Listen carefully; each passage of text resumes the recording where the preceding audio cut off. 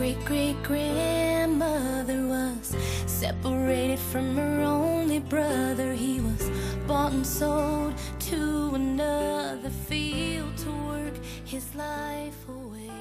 So we listened to your song "Free" as a team. Obviously, we got the shirts um, and a staff, and it really touched us. Can you kind of tell us what inspired you to write that song? Okay, so what inspired us to write that song was it was around this time four years ago. The song was written four years ago. just before the last election, 2016, Mm-hmm. and you could just feel um, all of the Uneasy. uneasiness and tension in the air, and just kind of like what we're dealing with all over again. And we were in Nashville, um, sitting in a writing session. We were doing it with a well-known uh, producer and writer. Um, and we were just going to do one song with him, write one song with him, but then the second song ended up being what you know now as "Free." And he asked Kim and I, "Did we would, would do we want to be brave?" And we said, "Of course we want to be brave." And um, he started, you know, um, asking us about Asking- like you know our age like how old are you guys are you guys old enough to have a great great great grandmother and we were like we could have great great great great great great grandmother you know what i mean that was sold into slavery and things like that and in that time um, of course we shortened the great greats because it sang better but um, when the song is actually um, a very true story, especially with that lines up with our family as well as many African American people's family. It's just, it's the same story. But what we've learned is that this story is a universal story, but it's told in different ways. You know what I'm saying? There's always been this thing that's happened, even when you see the new immigration laws and kids literally being separated from their parents and can't get to their parents, you know? Um, it's like everybody has a story like that in all types of cultures. And what we were trying to, to portray is like, look, we are all God's creation. We all bleed the same. We all have the same feelings. We are human. We are a human race. And God has designed us to be here to love and help each other.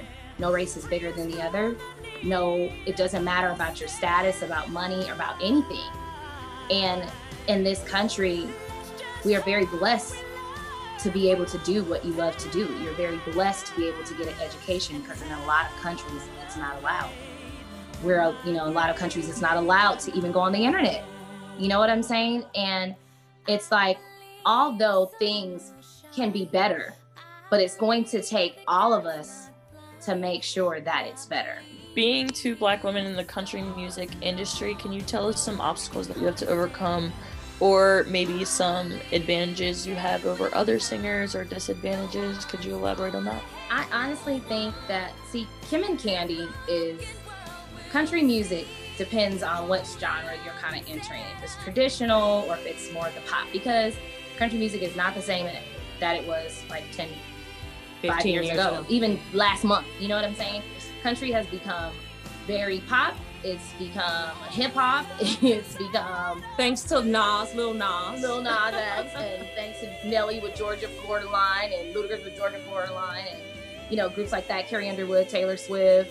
You know, it's become very, very More versatile than it's ever been. more than it's ever been. So the door is o- more open for African American Yes. women to sing in country than it ever has yeah, been. because you have a lot of them coming forward, like Mickey Guyton. She's amazing, and she's been around for years. Yeah. like she's been around for years, but she just was never offered the opportunity. And right now, I think I think the window is opening more and more um, to to African American women and just in general from the, uh, to women, period. Darius we are Rucker. winning right now. We got a VP as a woman. Like we're winning right now.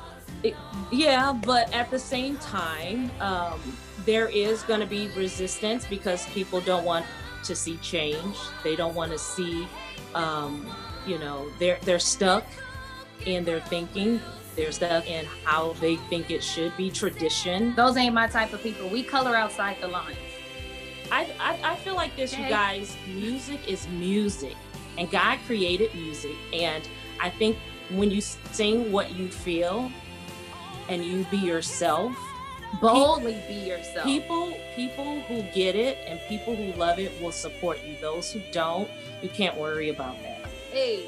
Thank Hey. you guys. Thank you. I'm done. Hey, Nice to meet all of you guys.